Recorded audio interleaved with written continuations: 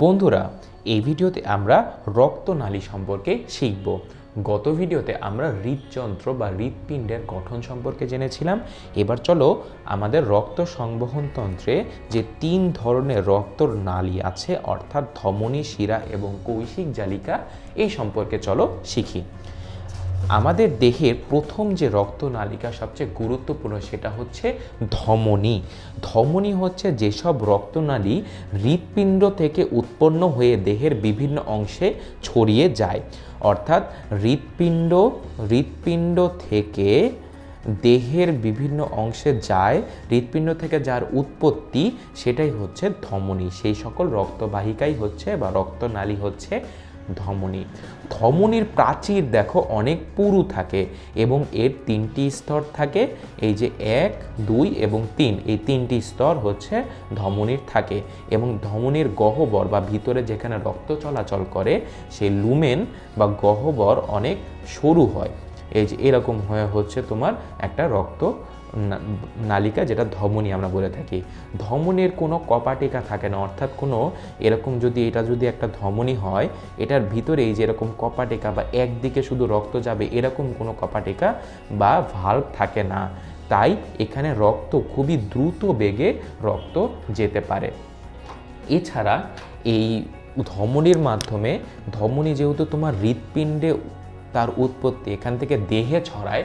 হৃৎপিণ্ড থেকে দেহে যেহেতু রক্তর বিস্তৃতি, তাই রক্ত হচ্ছে এই ধমনী হচ্ছে অক্সিজেনযুক্ত রক্ত পরিবহন করে। এটা ধমনীর খুবই গুরুত্বপূর্ণ একটা বিষয়। যে ধমনী হচ্ছে আমাদের দেহের জন্য অক্সিজেনযুক্ত রক্ত, প্রবাহের জন্য দায়ী।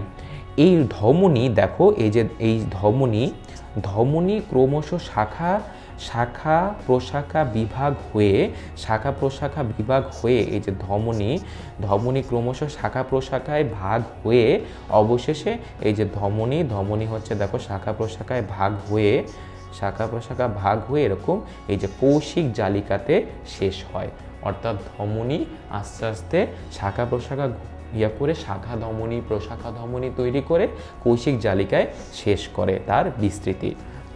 এই কৌশিক জালিকার মাধ্যমে একদম দেহকোষ পর্যন্ত রক্ত, অক্সিজেনযুক্ত রক্ত এই ধমনী পরিবহন করে। ধমনীর একটা নির্দিষ্ট স্পন্দন আছে। অর্থাৎ আমাদের দেহে যখন রক্তচাপ নির্ণয় করা হয়, তখন এই ধমনীকে এই আমাদের হাতের যে আর্টেরিয়াল যে রেডিয়াল আর্টারি আছে বা রেডিয়াল ধমনী আছে, এই রেডিয়াল ধমনী থেকেই আমাদের রক্তের স্পন্দন বা হৃদস্পন্দন তোমার অনুভব করা যায়। এইটা হচ্ছে ধমনী সংক্রান্ত আলোচনা। এরপরে আসা যাক শিরা সম্পর্কিত আলোচনা।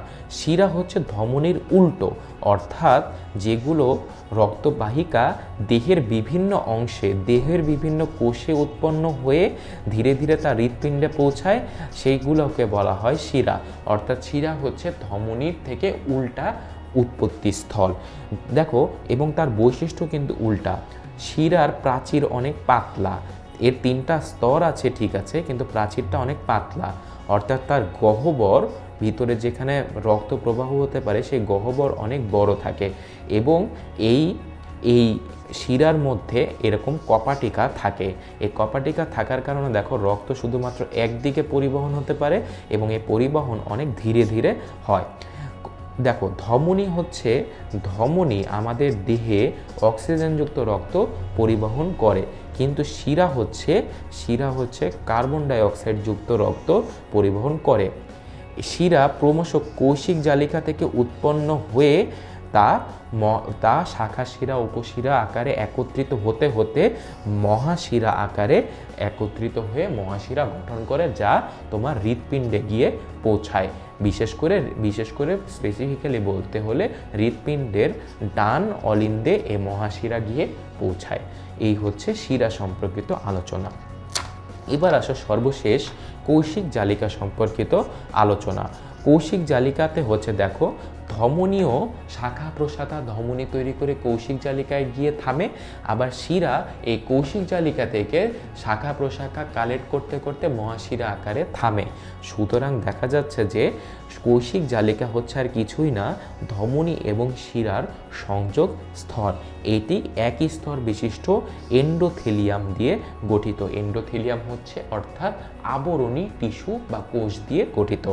কৌশিক জালিকায় রক্ত এবং কোষের মধ্যে ব্যাপন প্রক্রিয়ায় পুষ্টিদ্রব্য, অক্সিজেন এবং কার্বন ডাইঅক্সাইড ও রেচন পদার্থের আদান প্রদান ঘটে। অর্থাৎ কোষ এবং রক্ত এদের যে কৌশিক জালিকার যে রক্ত, এদের মাঝখানে বিভিন্ন উপাদানের আদান প্রদান হয় এই কৌশিক জালিকাতেই। এই কৌশিক জালিকার মাধ্যমে কোষ তার প্রয়োজনীয় অক্সিজেন রক্ত থেকে গ্রহণ করে, আবার তার যে অপ্রয়োজনীয় বর্জ্য পদার্থ, রেচন পদার্থ এবং কার্বন ডাইঅক্সাইড তার রক্তে আবার পুনরায় ফেরত দিয়ে দেয় এই কৌশিক জালিকার মাধ্যমেই। এই ছিল আমাদের তিন প্রকারের যে রক্তবাহিকা, ধমনী, শিরা এবং কৌশিক জালিকা সংক্রান্ত আলোচনা। ধমনী হচ্ছে যেগুলো রক্তবাহী হৃৎপিণ্ডে উৎপন্ন হয় এবং অক্সিজেনযুক্ত রক্ত পরিবহন করে। আর শিরা হচ্ছে যেগুলো দেহ থেকে উৎপন্ন হয়ে হৃৎপিণ্ডে পৌঁছায় এবং কার্বন ডাইঅক্সাইড যুক্ত রক্ত পরিবহন করে।